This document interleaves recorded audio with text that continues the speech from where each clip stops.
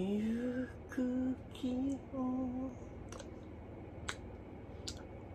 TV Everyday ハロー YouTube はい。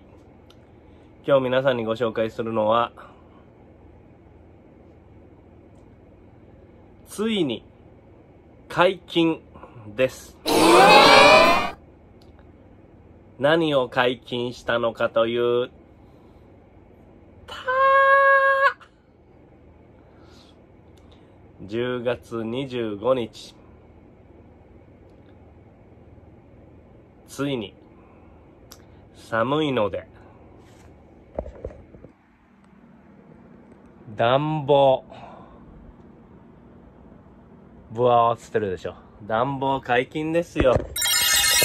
今まではいろいろ厚着とか服重ね着で逃げ逃げてきたけど多少寒い日もねもう寒いよ。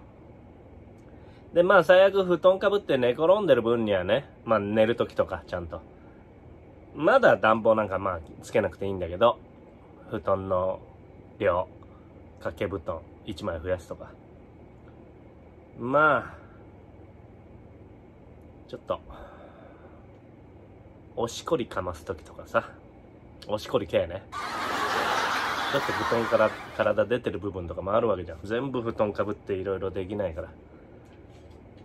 暖房一旦つけるしかないだよ。そういうこと。これからちょっと。いろいろあるのでえー